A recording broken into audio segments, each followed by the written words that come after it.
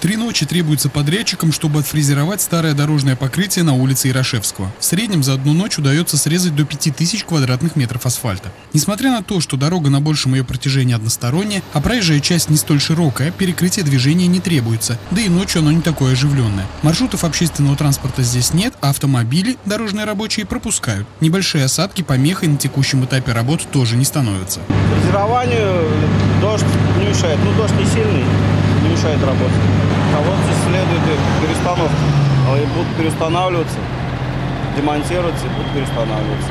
Всего ремонту большими картами свыше 100 погонных метров по всей ширине проезжей части подлежит полтора километра улицы. Это почти 12 тысяч квадратных метров дорожного полотна. Рабочие, помимо фрезерования, выполнят поднятие люков смотровых колодцев на проектную высоту. Они будут на одном уровне с покрытием. Затем уложат новый асфальт, применят современную смесь ЩМА-16 на полимерно-битумном вяжущем, что обеспечит высокую прочность полотна. При этом укладку будут производить только при сухой погоде. На всех этапах качество работ контролируют специалисты МБУ «Дорожное хозяйство». Подрядчик заинтересован в качестве не меньше, ведь предстоит приемка, а гарантия на покрытие будет составлять 5 лет. В случае возникновения дефектов подрядной организации придется переделывать ремонт исключительно за счет собственных средств. Возвращаясь к вопросу укладки, это погодные условия для того, чтобы основание было подготовлено, были подняты люки инженерных коммуникаций. Для того, чтобы застыл бетон, тоже нужно время.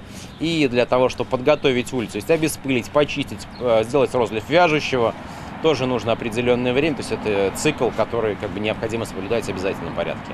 Участок улицы Ярошевского от Новосадовой до Маломосковской – один из 42, которые в этом году будут отремонтированы в Самаре на средства национального проекта «Безопасные и качественные дороги». Учтены результаты диагностики состояния покрытия, которое заблаговременно выполняется специализированной передвижной дорожной лабораторией. Кроме того, перечень дорог местного значения, подлежащих обновлению, был сформирован исходя из предписаний надзорных органов, просьб жителей и расположения на улицах объектов массового притяжения горожан, медицинских, образовательных и других социальных учреждений. На Ярошевского располагается ряд таких объектов, в том числе гимназия и детский сад. Родители каждый день привозят своих детей. И автомобилисты, и общественники, и сотрудники образовательной сферы отмечают, что из-за некачественной дороги здесь образовывались пробки. Дорога была полностью разбита. Мы хотели ее увидеть гладкой, ровной, красивой, чтобы по ней было приятно ехать, чтобы ее было приятно переходить, и чтобы она своей красотой радовала наши глаза.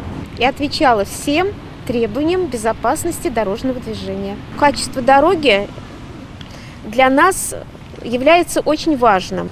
Все работы выполняют по графику. Ориентировочная дата окончания ремонта 9 мая, чтобы после майских праздников горожане на работу и домой ездили по обновленной дороге, а подвоз детей к образовательным учреждениям был беспрепятственным и комфортным. Специалисты также отмечают, что в этом районе в текущем году на средства дорожного нацпроекта будут охвачены ремонтными работами улица Мичурина и проспект Масленникова, которые частично были приведены в порядок в прошлые годы. Андрей Горгуленко, Николай Пифанов, Николай Сидоров. События.